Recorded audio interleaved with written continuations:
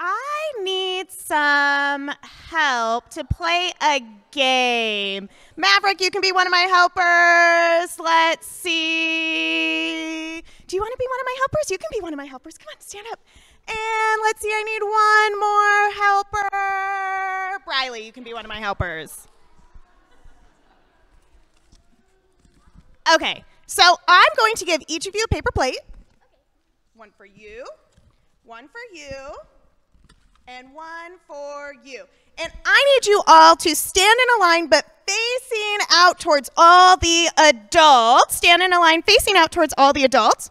We are going to take this bowl and we're going to put it right here. And I have three pom poms. And I am going to hand you the pom poms one at a time, and you are going to use your paper plate to pass the pom pom off to the next person's paper plate. And then, Maverick, you're going to put the pom pom in the bowl, and we're going, going to see if we can get all three pom poms over to the bowl. Do you think we can do it? Yeah, I think we can do it. Okay, pom pom number one. Oh, good job, good job. Good job, pom pom number two. Good job. Good job. Perfect. And pom pom number three.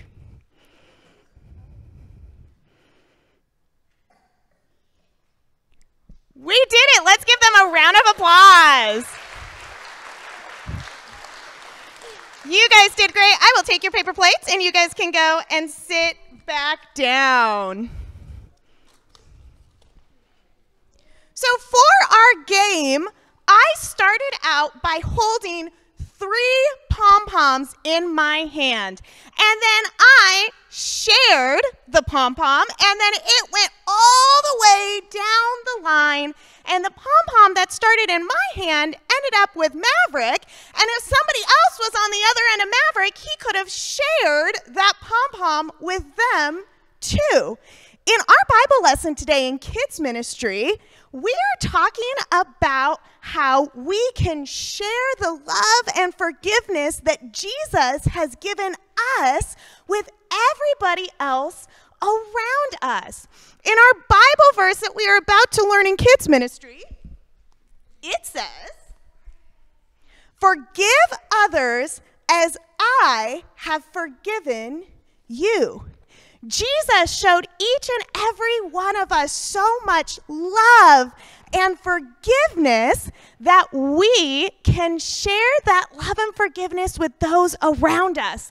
And then they can pass it on too. And then they can pass it on to the next person. And just like our pom poms went all the way down the line, the love and forgiveness that Jesus has given us, we can pass along to so many people around us.